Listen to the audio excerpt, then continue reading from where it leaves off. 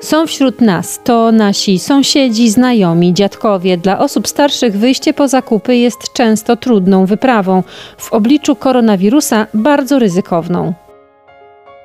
Szanowni drodzy mieszkańcy, e, zadbajmy wspólnie o naszych seniorów, bo przecież oni mieszkają za ścianą, bo przecież mają swoje rodziny, swoich najbliższych, ale czasami nie upominają się o pomoc. A dzisiaj wiemy, że ta pomoc musi sama do nich być skierowana, musi do nich przyjść.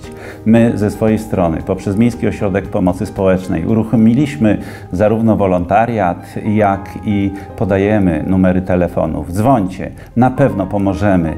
Bądźmy empatyczni, zadbajmy o naszych seniorów.